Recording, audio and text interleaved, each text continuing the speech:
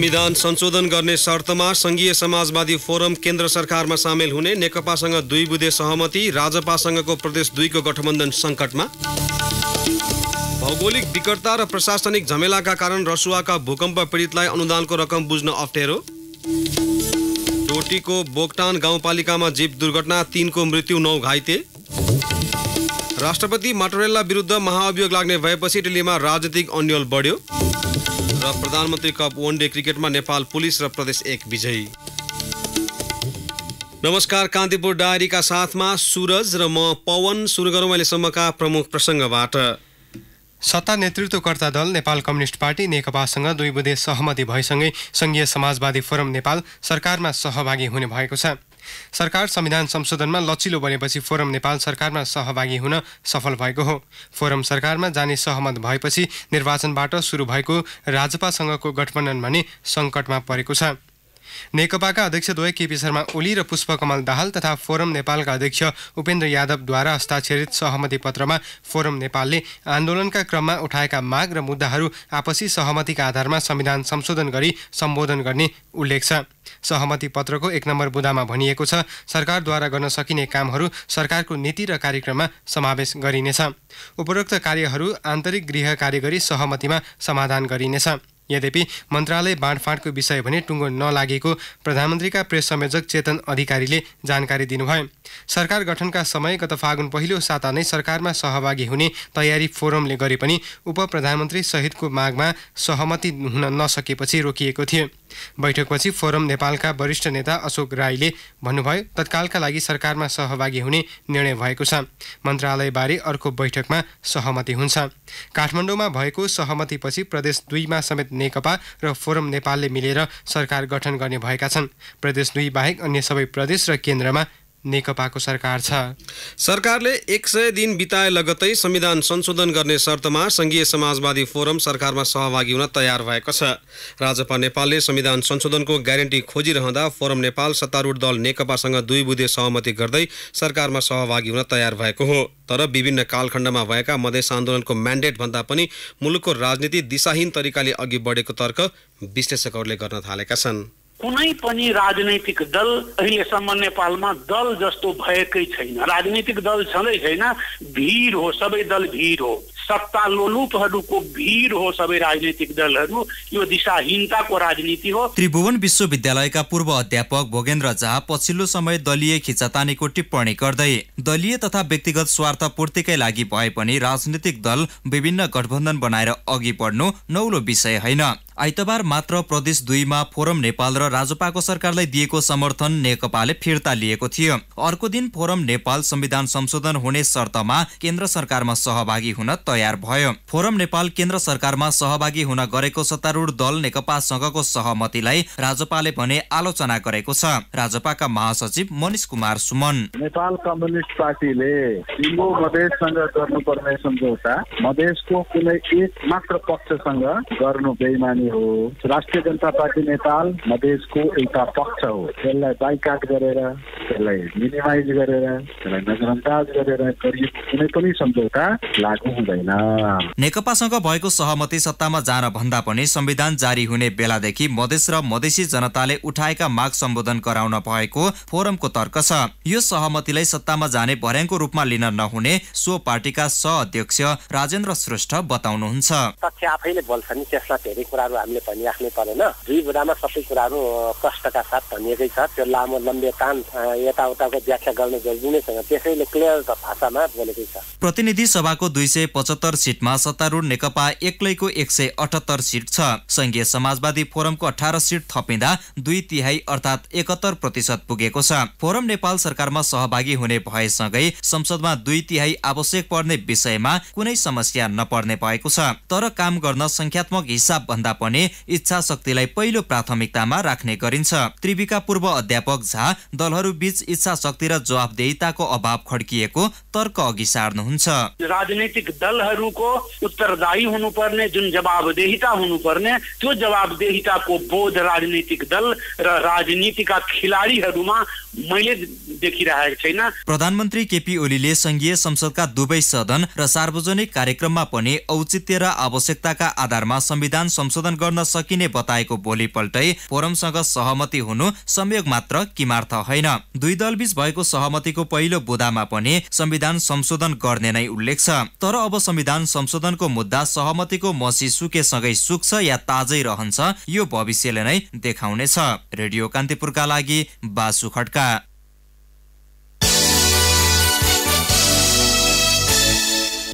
भूकम्प प्रभावित अधिकांशले अनुदानको दोस्रो किस्ता बापतको रकम अझै पाउन सकेका छैनन्। यही जेठ मसान्तसम्म दोस्रो किस्ता बापतको रकम नलिए पछि रकम भुक्तानी नहुने जानकारी सरकारले गराए पनि लाभग्राहीले पाउन सकेका छैनन्। तर रसुवामा भने अवस्था अलिक फरक छ। रसुवाको स्थलगत भ्रमणपछि सहकर्मी शर्मिना खनालले तयार पारेको सामग्री। रसुवामा लाभग्राहीको सूचीमा परेका एघार हजार छ सय उनातिस मध्ये दस हजार सात सय उनासाठी घरधुरीले पहिलो किस्ताको रकम लिइसकेका छन् भने नौ हजार तीन सय सत्ताइस जनाले दोस्रो किस्ताको रकम बुझिसके। तेस्रो किस्ता पाउनेको संख्या चार हजार एक सय मात्रै छ। पुननिर्माणतर्फ जिल्लामा दस हजार दुई सय एकहत्तर घर बन्दै गरेका छन्। सम्पन्न भएका निजी आवासको संख्या पाँच हजार चार सय तेह्र रहेको छ। तर जिल्लाका भोरले ब्रिदिम चिलिमे डाँडागाउँ धैबुङ धुन्चे गतलाङ गोलजुङ हाकु लहरे लाङटाङ र रामचेकका केही लाभग्राहीले अझै दोस्रो किस्ताको रकम बुझ्न बाँकी छ। कालिका स्थान र नौकुण्ड गाउँपालिकामा ब्याङ्क नहुँदा पीड़ितले रकम बुझ्न तीन चार घण्टाको पैदल यात्रा गरेर धैबुङ पुग्नु परेको छ। नौकुण्ड वडा नम्बर चारका अर्जुन मोक्तान। बाटो अप्ठ्यारो छ होइन अब बर्खा लागिसकेको छ बाटो एकदम अप्ठ्यारो। प्राय हिँडेरै आउँछन् बस नचलेपछि भनौँ न एक हिसाबले हो। सरकारले अशक्त र असहायका लागि रकम बुझ्न केही सुविधा दिने बताए पनि नौकुण्ड गाउँपालिकाकी दीक्षा भट्टको परिवारले कुनै सुविधा पाएको छैन। अब दोस्रो पैसाको भर भएन यसको। अब कहिले आउँछ कहिले आउँछ थाहा भएन। चार घन्टा हिँडेर आएको। बुवा आउनु भएको छ बुवा चाहिँ बोल्नुहुन्न मम्मी नै अपाङ्ग नै हो। घरमा छोड्न नपाउने जतिखेर नि हिँडिरहनलाई। म एउटा मात्र छोरी अनि घर व्यवहार सबै मैले गर्नुपर्ने त्यही भएर। अहिले हाम्रो चाहिँ केही गरिदिनु न त भन्दा पनि कसैले सुन्नु भएन। नसुनेपछि अब आफ्नै छोरीले अब कतिखेर दिनुहुन्छ त्यतिखेर जाने भनेर बसेको। तेस्रो किस्ताको रकम लिनेले पनि धैबुङकै आइसिएफसी ब्याङ्कबाट रकम लिने गरेका छन्। अन्यको जस्तै पैसा लिने समस्या भएको बेतिनीकी वृद्धा नेउपाने बताउँछिन्। अहिलेसम्म चारचोटि भयो तेस्रो किस्ता लिन। ल पैसा सिद्धि अब अर्को सोमबार आइज भन्छ दस बजे अगाडि आएर बस्नु तपाईँलाई चाँडै हुन्छ भने थियो। आज अगाडि आएर बस्यो लाखमा पठाइदियो। अब के गर्ने त? पाँच लाख झिकिया छ अब पुगेन त्यतिले नि। दुई ढलानको घरलाई लाग्यो हाम्रो बाह्र तेह्र लाख। ए जग्गा बेचिदिने भोलि तिर्न नसके। के गर्ने त? जग्गा राखेर झिकिया यता धैबुङको आइसिएफसी फाइनान्समा कर्जा र प्रशासन विभागका सोमबहादुर बहादुर तामाङले भने ब्याङ्कबाट पैसा बुझ्न समस्या नभएको दावी गर्छन्। गाउँमा एकजना मात्रै सामाजिक परिचालक भएकाले समन्वयको अभाव हुने भएको उनको भनाइ छ। पुनर्निर्माण प्राधिकरण र कोलोनीका रसुवाले चाहिँ हाम्रो ब्याङ्कको नाममा चेक दिएर लिस्टेड गरे। फलाना फलानाको नाममा पहिलो दोस्रो वा तेस्रो कुन किस्ता हो त्यो पैसा हामीलाई पठाउँछ र त्यो किस्ता त्यो पैसा चाहिँ हामीले उहाँहरूको खातामा हालेर बल्ल भुक्तानी गर्छौँ। भूकम्प प्रभावित अन्य जिल्लामा भन्दा रसुवामा अवस्था केही उत्साहप्रद देखिए पनि भौगोलिक विकटताले पीड़ितलाई अनुदान बापतको रकम बुझ्न अप्ठ्यारो परेको छ। लाभग्राहीलाई विभिन्न किस्ताको रकम बुझ्न स्थानीय तहले पनि मदत गर्न सकेको छैन। त्यसैले भूकम्प पीड़ित एक आपसमै ढुङ्गालाई माटोको र माटालाई ढुङ्गाको भर पर्न बाध्य छन्। तर यो भरले पनि किस्ता बुझ्नलाई भने अवेर भइसकेको छ। रेडियो कान्तिपुरका लागि शर्मिला खनाल। डोटीको बोगटान गाउँपालिका छ पलाडीमा जीप पल्टदा तीनजनाको मृत्यु भएको छ। नौजना घाइते छन्। दुर्घटनामा जीप मालिक भक्त द्वारिया चालक रामबहादुर विक र स्थानीय इन्द्रादेवी रावतको मृत्यु भएको प्रहरीले जनाएको छ। घाइते मध्ये गम्भीर अवस्थाका तीनजनालाई उपचारका लागि दिपायलतर्फ लगिएको छ। दिपायलबाट बोगटान जाँदै गरेको से एक ज आठ सात सात नम्बरको जीप साँझ पाँच बजे सडकबाट एक सय मिटर तल खसेको थियो। दुर्घटनाको कारण खुल्न सकेको छैन। कान्तिपुर डायरीमा अब ब्रेकको पालो। अब बाँकी प्रसङ्ग दाङको शान्तिनगर गाउँपालिकाका दुईवटा ओडामा फैलिएको झाडापखाला आज अपराह्नदेखि नियन्त्रण उन्मुख भइरहेको जिल्ला जनस्वास्थ्य कार्यालयले जनाएको छ। बिरामीको सङ्ख्या घट्दै गएको र अवस्थामा सामान्य हुँदै गएको गाउँपालिकाका स्वास्थ्य शाखा प्रमुख हरिपुनले बताउनुभयो। बिरामीको सङ्ख्या हिजो एक्कासी बढेको थियो। हिजो सात सय छ र आज तिन सय तेइसजनाले उपचार गराएका छन्। पहिलो दिन शनिबार चार सय उन्नाइसजना बिरामी भएका थिए। महिना माइली पानी खानेपानी आयोजनाको मुहानमा दूषित पानी भएपछि सो गाउँपालिकाको तीन र चार नम्बर ओडामा झाडा पखाला फैलिएको थियो। दूषित पानीका कारण झाडा पखाला फैलिएको पुष्टि भएको छ। शून्य हुनुपर्ने कोली फर्म पन्ध्रभन्दा बढी भेटिएको खानेपानी तथा सरसफाई डिभिजन कार्यालयका निमित्त प्रमुख तिलक नेउपानेले बताउनुभयो। पानीमा कोली फर्म भेटिएपछि धाराको पानी बन्द गरिएको छ। खोलाको पानी सिधै रिजर्भ ट्याङ्कीमा जोडेर वितरण गरिएपछि झाडा पखाला फैलिएको नेउपानेले बताउनुभयो। बिरामीका लागि औषधि पर्याप्त मात्रामा राखिएको कार्यालयका प्रमुख घनश्याम पोखरेलले बताउनुभयो। ट्राफिक प्रहरीले दुर्व्यवहार गरेको भन्दै प्रदेश दुईका यातायात मजदुरले अनिश्चितकालीन यातायात सेवा अवरुद्ध पारेका छन्। सरकारी निकायले वार्तामा नबोलाएको भन्दै नेपाल यातायात स्वतन्त्र मजदुर संगठन प्रदेश दुईको समितिले आज दिनभर यातायात सेवा अवरुद्ध पारे। प्रहरीले यातायात मजदुरमाथि गाली गलौज अभद्र व्यवहार गरेको भन्दै हिजोदेखि आन्दोलन सुरु गरेको समितिका उप महासचिव पशुपति रेग्मीले बताउनुभयो। विराटनगर धरान काँकडभिटा काठमाडौँ लगायत बाहिर जिल्लाबाट आउने सवारीले जनकपुर बस पार्क नपुगी ढल्केबर मुजेलिया महेन्द्रनगरसम्म ल्याएर यात्रुलाई अलपत्ता छाडेका छन्। जनकपुरबाट दैनिक तीन सयवटा बस छुट्ने गरेका छन्। ट्राफिक प्रहरीले भने यातायात व्यवसायले रुटमा अर्को बस थप्न नमान्ने क्षमताभन्दा बढी यात्रु बोक्ने हर्न बजाउने र अनियन्त्रित रूपमा गाडी चलाउने कार्यलाई रोक्न खोज्दा व्यवसायहरू आन्दोलित बनेको बताएको छ।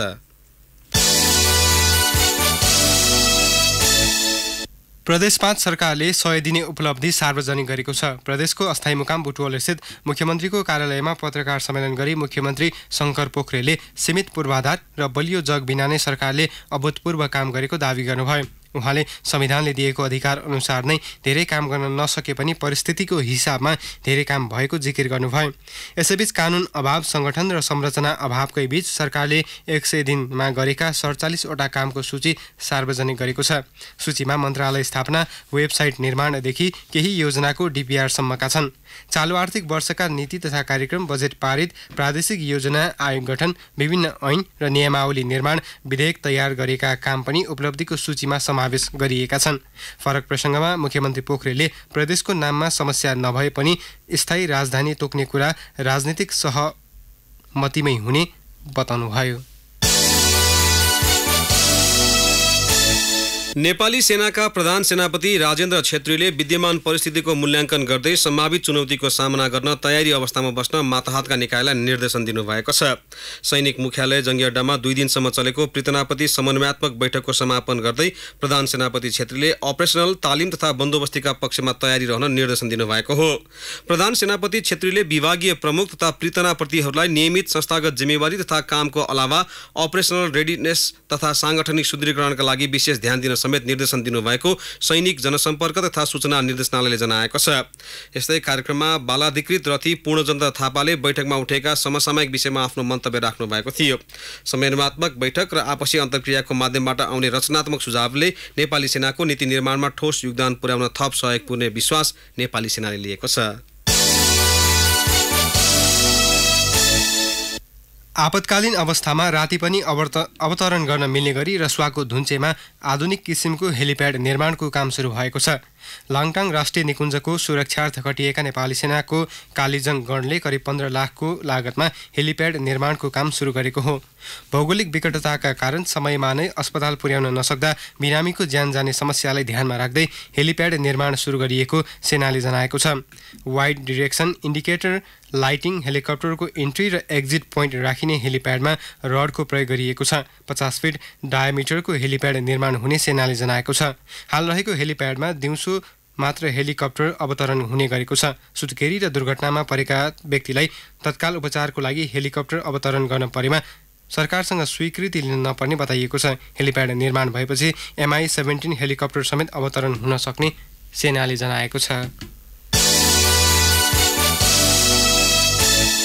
रूपन्देहीमा सञ्चालित राष्ट्रिय गौरवका आयोजनाको नाममा ठेकेदारले क्रसर उद्योग खोल्ने क्रम बढेको छ। अस्थायी भन्दै दर्ता बिनै चल्न पाउने र अनुगमनको अभावमा क्रसर उद्योगले आयोजना बाहिर पनि ढुङ्गा गिटी बिक्री गर्दै आएका छन्।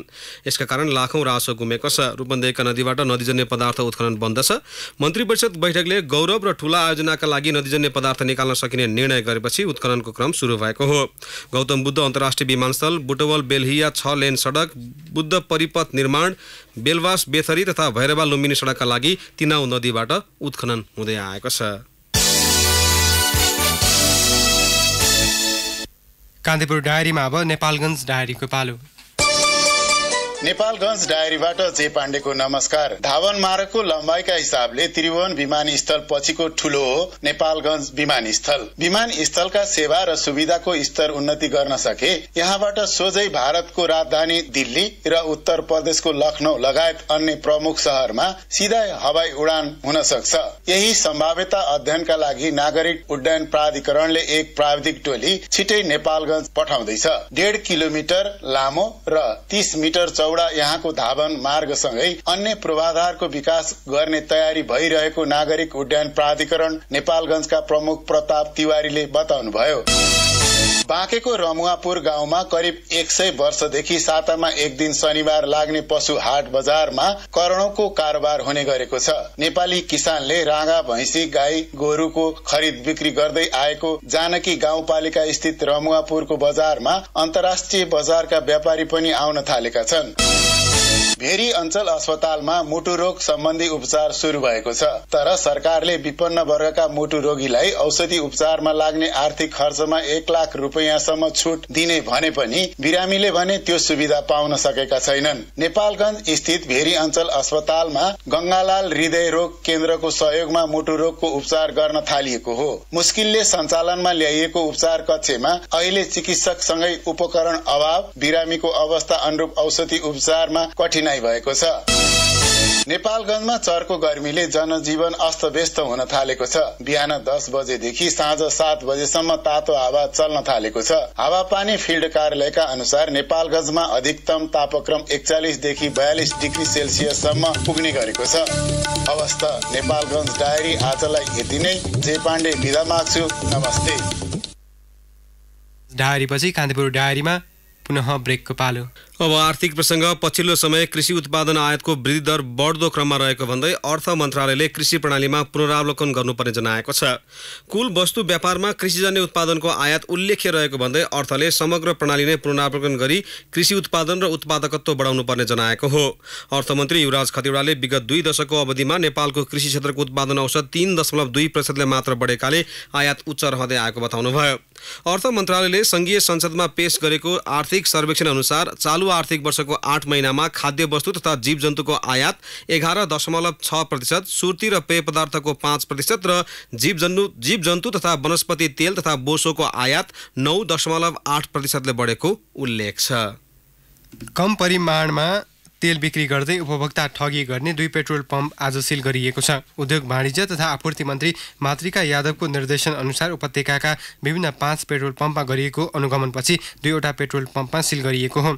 अनुगमनका क्रममा कैफियत भेटिएका ललितपुरको एकान्त कुना स्थित प्रशान्ति आयल स्टोर र साधोपाटो स्थित महालक्ष्मी विश्वकर्मा ट्रेडर्समा सिल गरिएको मन्त्रीका स्वकीय सचिव सन्तोष विष्टले बताउनुभयो। प्रशान्ति पेट्रोल पम्पले प्रति दस लिटरमा तिस एमएल र महालक्ष्मीले प्रति दस लिटरमा चालिस एमएल पेट्रोल कम दिँदै आएको अनुगमनका क्रममा भेटिएको उहाँले बताउनुभयो। नेपाल टेलिकमले मिस्ड कल अलर्ट सेवा पुनः सञ्चालन गर्ने भएको छ। गणतन्त्र दिवसको अवसरमा कम्पनीले सो सेवा भोलिदेखि पुनः सञ्चालनमा ल्याउने भएको हो। जिएसएम पोस्टपेड तथा प्रिपेड मोबाइलमा यो सेवा उपलब्ध हुने टेलिकमले जनाएको छ। टेलिकमको अनुसार यो सेवा सुरु भएपछि सेवाग्राहीको नम्बर व्यस्त नेटवर्क नभएको र स्विच अफ भएको अवस्थामा कसैको कल आएमा पछि त्यसको बारेमा एसएमएस मार्फत नोटिफिकेसन आउनेछ। दिवसकै अवसर पारेर कम्पनीले अठार रुपियाँमै एक घन्टासम्म भोइस एसएमएस र डाटा चलाउन सकिने अनलिमिटेड प्याक अफर ल्याएको आएको छ। त्यसै गरी बाह्र रुपियाँमा कम्पनीको नेटवर्कभित्र एक सय बिसवटा एसएमएस पठाउन सकिने एसएमएस प्याक पनि ल्याइएको टेलिकमकी प्रवक्ता प्रतिभा वैद्यले जानकारी दिनुभयो। नेपाल स्टक एक्सचेन्जमा आबद्ध कम्पनीहरूको सेयर कारोबार मापक नेप्से परिसूचक आज करिब छत्तिस अङ्कले बढेको छ। नेप्से पैँतिस दशमलव नौ आठ अङ्कले बढेर एक हजार तिन सय छत्तिस दशमलव तिन नौ अङ्कमा पुगेको हो। सबै कम्पनी समूहका उपसूचकमा सुधार आएपछि समग्र बजार प्रभावित भएको हो। सबैभन्दा धेरै बिमा समूहको उपसूचक दुई दशमलव दुई सय बहत्तर दशमलव चार चार अङ्कले बढेको छ। यस्तै होटल समूहको उपसूचकमा एक सय एक दशमलव एक एक अङ्कले वृद्धि भएको छ। आज कुल एक सय अडसठी कम्पनीको पाँच हजार त्रिहत्तर कारोबारबाट तेह्र लाख छैसठी हजार पाँच सय सन्तानब्बे किता सेयर किनबेच भए जस अन्तर्गत सडचालिस करोड उना अस्सी लाख अडसठी हजार सात सय रुपैयाँ बराबरको कारोबार भएको स्टक एक्सचेन्जले जनाएको छ।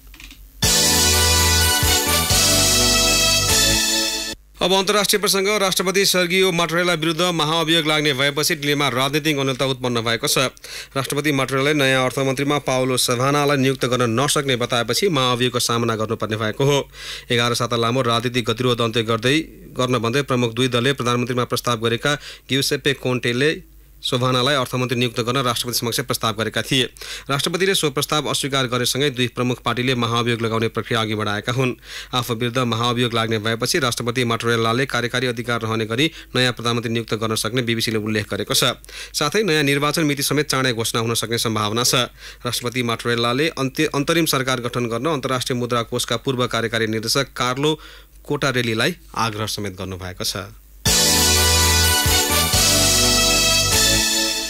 अमेरिकी राष्ट्रपति डोनाल्ड ट्रम्प र उत्तर कोरियाली नेता किम जोङ उनबीच हुने भनिएको भेटवार्तामा आफ्ना राष्ट्रपति मुन जे इनले पनि भाग लिन सक्ने दक्षिण कोरियाली अधिकारीहरूले बताएका छन्। तर मुनको सहभागिता अमेरिका र उत्तर कोरिया बीचको शिखर सम्मेलनको पूर्व सन्ध्यामा भइरहेको छलफलको प्रगतिमा निर्भर हुने उनीहरूको भनाइ छ।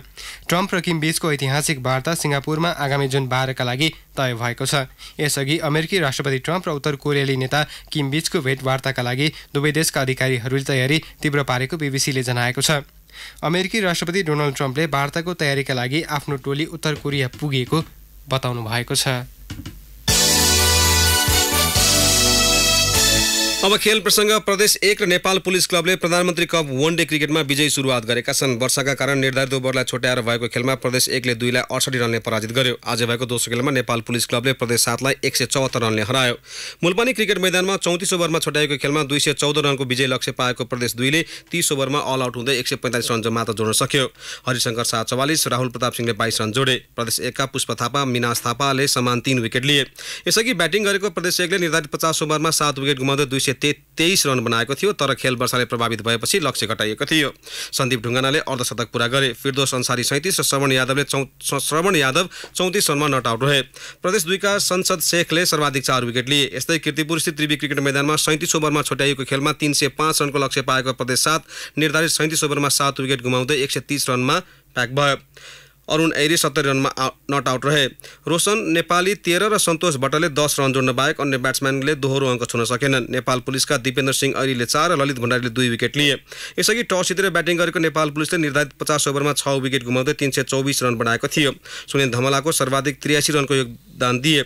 आरिफ शेखले अर्धशतक जोडे मन्जित छत्तर पचास रनमा नट आउट रहे। शेर मल्लले दुई सन्तोष भट्ट सागर भण्डारी र सुरेन्द्र चन्दले समान एक विकेट लिए। प्रतियोगितामा भोलि प्रदेश तीन र छ तथा प्रदेश चार दुई बीच प्रतिस्पर्धा हुनेछ। इटहरीमा प्रथम सांसद कप राष्ट्रिय भलिबल प्रतियोगिता हुने भएको छ। सुनसरी जिल्ला खेलकुद विकास समिति र पूर्वाञ्चल भलिबल सङ्घको आयोजनामा हुने रात्रिकालीन भलिबल प्रतियोगिता बिहिबारबाट सुरु हुनेछ। आयोजकले आज पत्रकार सम्मेलन गरेर प्रतियोगिताको तयारी पूरा भएको जनाएको छ। प्रतियोगिता इटहरी स्थित क्षेत्रीय रङ्गशालाको भलिबल कोर्टमा साँझ छ बजेदेखि सुरु हुने जिल्ला खेलकुद विकास समितिका अध्यक्ष अनुरोध थापाले जानकारी दिनुभयो। रात्रिकालीन प्रतियोगिताको लागि फ्लड लाइट जडान गरिएको छ। प्रतियोगितामा दुई विभागीय टिम नेपाल पुलिस र सशस्त्र प्रहरी बलसहित प्रदेश नम्बर एक तिन चार र पाँच सहभागी हुनेछन्। उपाधि विजेताले दुई तथा उपविजेताले एक लाख रुपियाँ हात पार्नेछन्। हवस् तैँलाई कान्तिपुर डायरी यति नै। राति आठ बजे क्राइम एन्ड सेक्युरिटी डायरी लिएर आउने नै छौँ तबसम्मका लागि सुरज र पवनलाई आज्ञा दिनुहोस्। नमस्कार।